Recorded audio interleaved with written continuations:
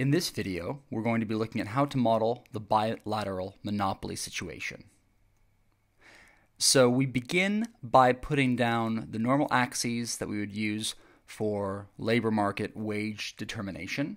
We have the real wage rate on the y-axis and the quantity of labor on the x-axis. And just like whenever we model the supply and demand of labor, we would say that the demand of labor, which is the marginal revenue product, is downward sloping and the supply of labor, which is to say the minimum price you have to pay to entice workers into the market, would be upward sloping. Now, the fact that it's a bilateral monopoly means that the buyer of the labor is a monopsonist. We can assume that there is one firm who is purchasing all the labor in this market. What that means is the monopsonist is going to have a marginal factor cost curve, which has a steeper gradient than the supply curve of labor.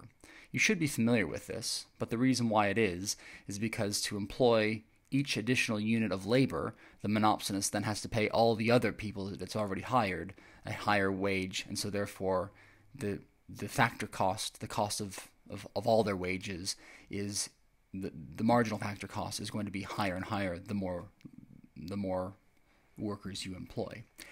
The profit maximizing monopsonist will then decide well, they want to employ the number of workers where the marginal factor cost equals the marginal revenue product. That's at this point here, and they will therefore hire L0 number of workers.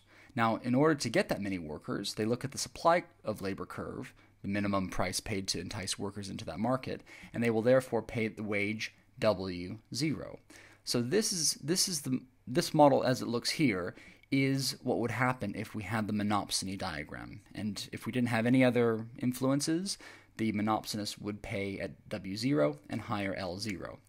But the fact that it's a bilateral monopoly means that we've got, on the one hand, the monopsonist, the monopoly of, of which is the firm buying all the labor, but we're now going to introduce a monopoly selling the labor. And to, to think about the monopoly selling the labor, we're going to say that there's a trade union which acts and represents all the workers as a single unit, which we then therefore would say is a monopoly.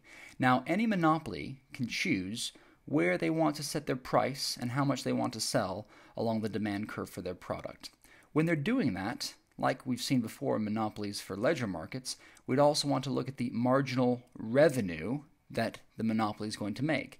So, this marginal revenue of labor curve, as I've called it, is going to describe the marginal increase in the total, the total wage packet paid to all members, um, given any quantity of labor that they're hiring. And and because the supply of labor curve represents that minimum wage to entice people into the market, the monopoly is actually going to be looking at this as their marginal cost curve as well.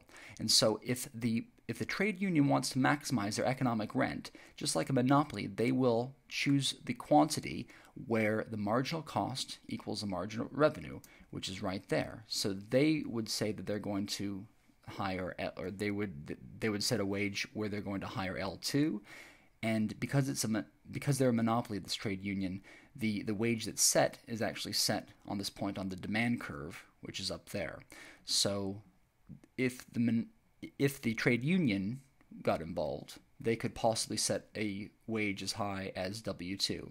Now, this is assuming that the trade union wants to maximize the economic rent for their members.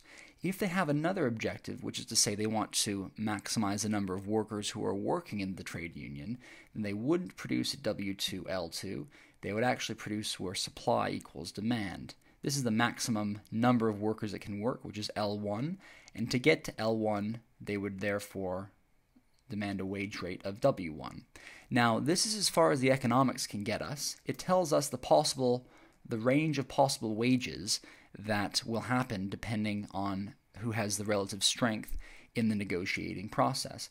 If the if the monopsonist employer has more bargaining power, then the wage is going to be closer to the original wage W0 um, than it than it would be um, higher up the, the the range. Whereas if the trade union has greater bargaining power, then it's going to be closer to W2 or W1, depending on what the trade union's objectives are.